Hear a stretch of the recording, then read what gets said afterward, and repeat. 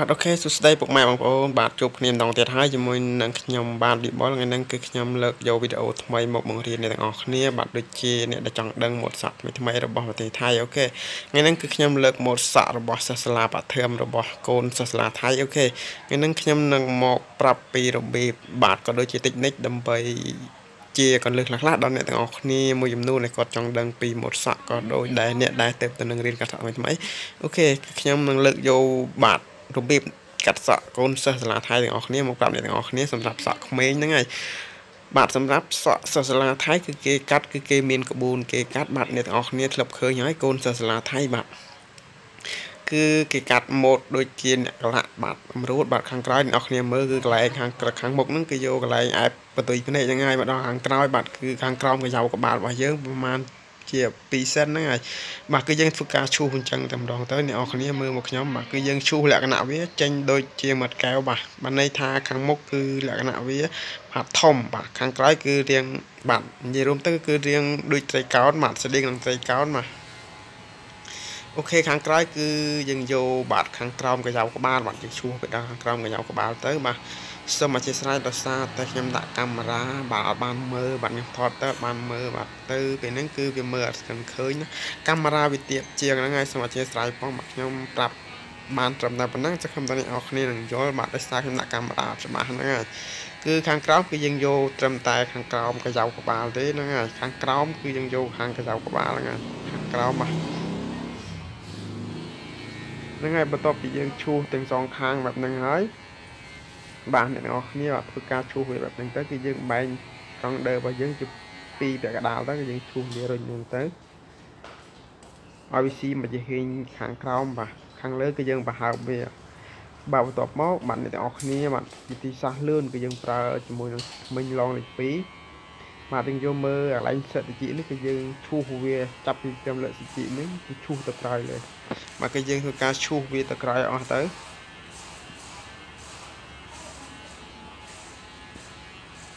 បាទនឹងគឺជាសក់របស់សិស្សសាលាថៃបាទ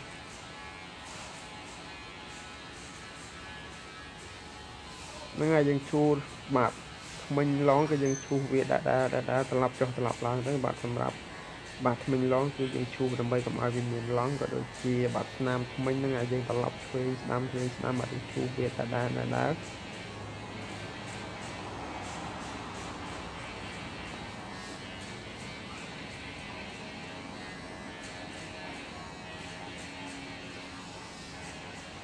ដោយសារដាក់កាមេរ៉ាខាងក្រោយផ្លេចមើលទៅហ្នឹងហើយវាអត់ថតអត់បានពេញក្បាលអញ្ចឹងណាបាទ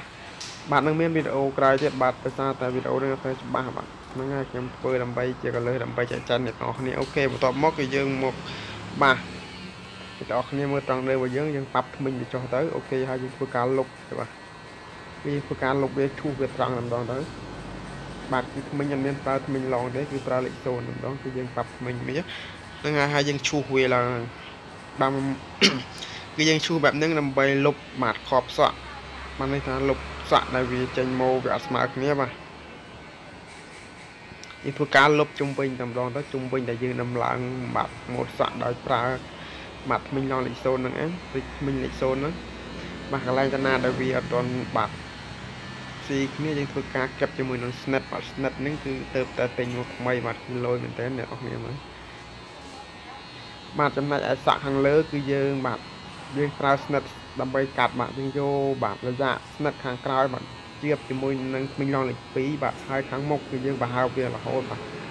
បាទលក្ខណៈសក់សាលាគឺបាទវាមានរយៈវាដូចជាបាទរាងកោងបន្តិចបាទខាងមុខគឺវាកោងស៊ីគ្នាបាទអ្នកគ្នាមើលគឺយើងកាត់បែបហ្នឹងបាទគឺយើងបាទស្និតដែលយើងកាត់ហ្នឹងគឺយើងកុំដាក់ជាបនឹងសាច់ក្បាលយើងបើហើបបាទគឺយើងបើហើបខាងក្រោយបាទ ហើយយើងឈើបយើងផ្សារជាបជាមួយនឹងសក់ខាងលើហ្នឹងហើយបន្ទាប់មកគឺយើងលើកខាងមុខបន្តិចបាទយើងលើកយើងលើកបាទកដៃយើងលើកស្និតខាងមុខបាទអូខេបន្ទាប់មកអ្នកទាំងអស់គ្នាកាត់សាក់ខាងលើហើយយើងមកធ្វើការកេបបន្តិចបន្តិចទៅបាទគឺកេបនៅខាងខាងខាងក្រោមហ្នឹងហើយបាទគឺសាក់សាឡាថៃបាទបើសិនជាអ្នកទាំងអស់គ្នា អត់ដែលដឹងគឺកាត់អត់កើតដែរបាទព្រោះវាមានຂະຫນាតរបស់វាបាទយើងទៅរៀនមកយើងដឹងថាសាក់សាឡាថៃគេកាត់បែបណាបាទយើងមើលទៅដូចស្រួលប៉ុន្តែគឺវាមានលក្ខណៈនិងຂະຫນាតរបស់វាបាទតាមស្តង់ដារហ្នឹងហើយបាទយើងត្រឡប់មកខាងនេះក៏ដូចគ្នាដែរគឺយើងធ្វើការលុបជាមួយ snap គៀនគៀនហ្នឹងហើយ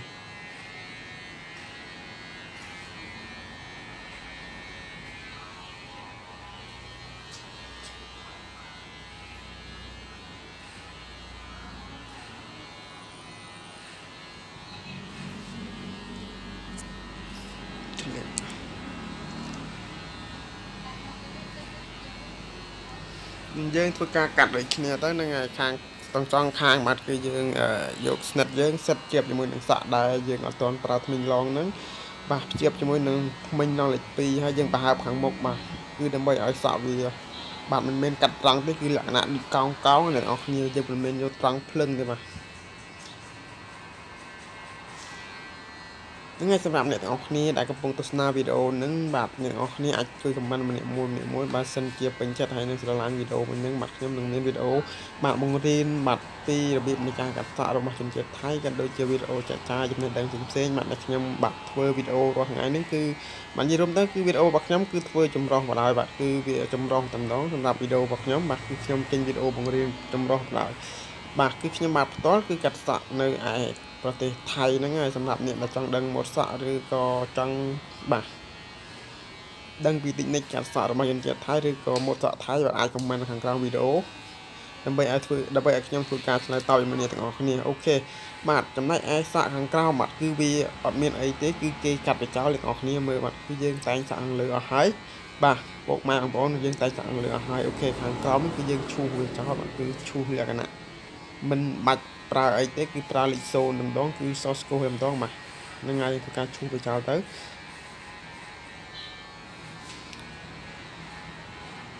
បាទវីដេអូនេះគឺខ្ញុំថតបាត់នៅក្នុងបាទបន្ទប់កាត់សក់គឺដោយសារវារឹកល្ងិតបន្តិចយប់បាទ ហើយដាក់កាមេរ៉ានឹងឆ្ងាយហ្នឹងហើយខ្ញុំនឹងមានវីដេអូចេញបន្តទៀតហ្នឹងហើយសម្រាប់ដាក់ពេលក្រោយហ្នឹងហើយសម្រាប់អ្នកទាំងអស់គ្នាអាចខមមិនខាងក្រោមវីដេអូបាទសម្រាប់ជាងកាត់សក់ឬក៏អ្នកដែលចិត្តកាត់សក់ហ្នឹងហើយអាចខមមិននៅខាងក្រោមវីដេអូឲ្យខ្ញុំធ្វើវីដេអូកាត់សក់ឬក៏វីដេអូផ្សេងៗបាទដែលទាក់ទងទៅនឹងចំណេះដឹងហ្នឹងហើយបើសិនជាខ្ញុំអាចធ្វើបានខ្ញុំនឹងបាទធ្វើការរីខមមិនជាមួយអ្នកទាំងអស់គ្នាបាទសក់ខាងក្រោមហ្នឹងគឺយើងកាត់វាចោលទាំងអស់ទៅបាទ ហ្នឹងហើយគឺជាសក់របស់សិស្សសាលាបាទដែលឲ្យឈ្មោះថាសិស្សសាលាបឋមហ្នឹងហើយម៉ែយើងគឺសិស្សបឋមបាទពួកថៃគឺវាអត់ដូចយើងទេគឺវាមានស្តង់ដាររបស់វាបាទកូនសិស្សបាទគឺកាត់សក់តាមលក្ខណៈកូនសិស្សបឋមបាទឯអ្នកឯសិស្សសាលាដែលរៀនវិទ្យាល័យក៏ដូចជាអនុវិទ្យាល័យបាទគឺកាត់ផ្សេងបាទអនុវិទ្យាល័យគឺគេខាងក្រោមនេះគេអត់យកសទេបាទគេប្រើថ្មីលេខ1ប៉ុន្តែរូបរាងដូចគ្នាប៉ុន្តែខាងលើនេះវែងជាង បាទគឺម៉ូតសាសាឡាវាអត់ដូចគ្នាទេសាសាឡាជនជាតិថៃបាទគឺវាបែងចែកគ្នាដាច់អត់ដូចខ្មែរយើងទេហ្នឹងហើយគឺយើងធ្វើការឈូសវាចោលទាំងអស់ខាងក្រោម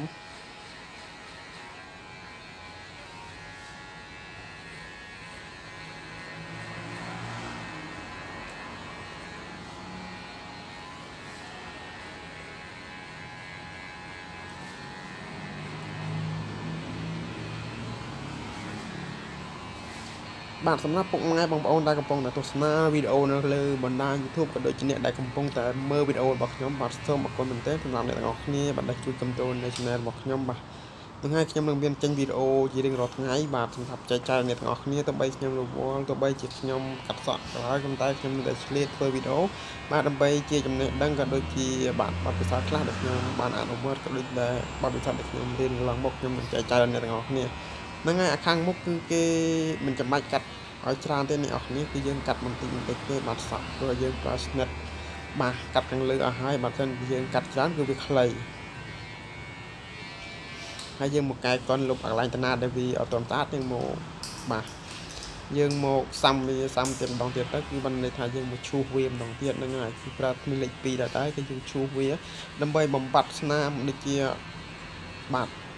ផ្លូវ ផ្លូវដែលយើងប្រើថ្មិញឡងគឺវាមានផ្លូវដែលយើងអត់ត្រឡប់ទៅត្រឡប់មកបាទមើលទៅគឺវាមានផ្លូវវាណាសម្រាប់អ្នកនរគ្នាដែលកាត់សក់ក៏ដឹងហើយហ្នឹងហើយវីដេអូហ្នឹងគឺអត់មានអីច្រើនទេតែខ្ញុំតែអ្នកនរគ្នានឹងពេញចិត្តបាទសូមជួយចុច like ហើយចុច comment អ្នកមួយឲ្យនឹងទៅនឹងវីដេអូរបស់ខ្ញុំបាទសម្រាប់អ្នកថ្មីបាទសូមជួយចុច like ហើយចុច subscribe បាទដើម្បីទទួលបានវីដេអូពីខ្ញុំបាទបាទសូមកុំភ្លេចបាក់ស្នាឬក៏ដឹងមួយផងបាទ OK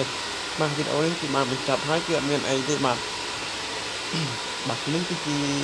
របៀបកាត់សក់សិស្សសាលាបឋមរបស់កូនថៃហ្នឹងហើយ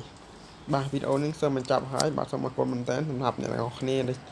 ទស្សនាវីដេអូរបស់ខ្ញុំដល់ទីបញ្ចប់បាទជួបគ្នានៅវីដេអូក្រោយបាទ OK bye bye បាទកុំភ្លេចជួយមើលពាណិជ្ជកម្មលើ YouTube របស់ខ្ញុំផង OK thank you bye bye